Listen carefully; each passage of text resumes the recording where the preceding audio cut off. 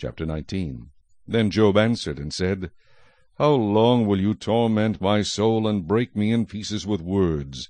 These ten times you have reproached me. You are not ashamed that you have wronged me. And if indeed I have erred, my error remains with me.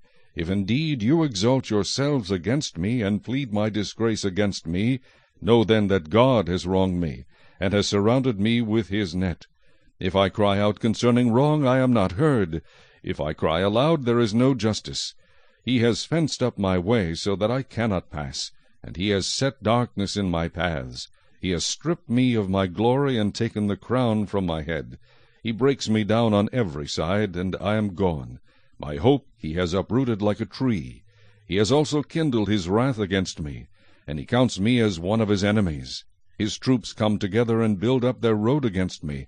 They encamp all around my tent. He has removed my brothers far from me, and my acquaintances are completely estranged from me.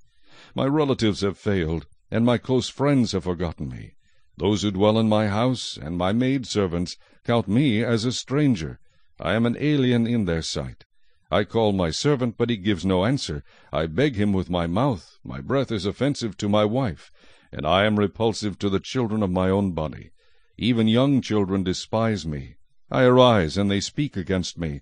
All my close friends abhor me, and those whom I love have turned against me. My bone clings to my skin and to my flesh, and I have escaped by the skin of my teeth.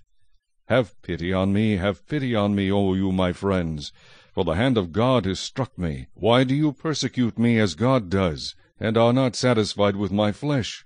Oh, that my words were written! Oh, that they were inscribed in a book! That they were engraved on a rock with an iron pen and lead for ever. For I know that my Redeemer lives, and he shall stand at last on the earth. And after my skin is destroyed, this I know, that in my flesh I shall see God, whom I shall see for myself, and my eyes shall behold, and not another. How my heart yearns within me! If you should say, How shall we persecute him, since the root of the matter is found in me?